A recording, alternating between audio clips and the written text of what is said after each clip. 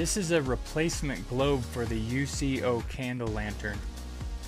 It doesn't state anywhere that this is high temperature borosilicate glass, but with testing it appears that it holds up to the heat just fine.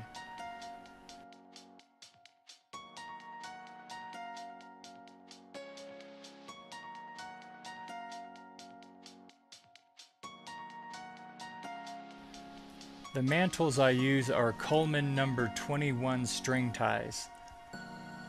These are the most widely available and cheapest mantles I could find.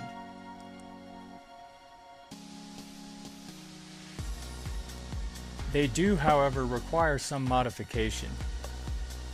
I halfway turn them inside out and snip off the stitching that stitches the top together.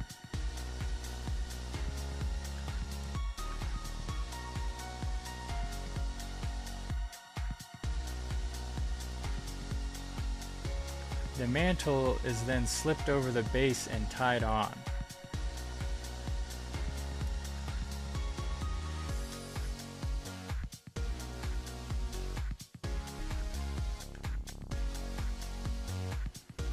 The top of the mantle is then tied on with a piece of copper wire.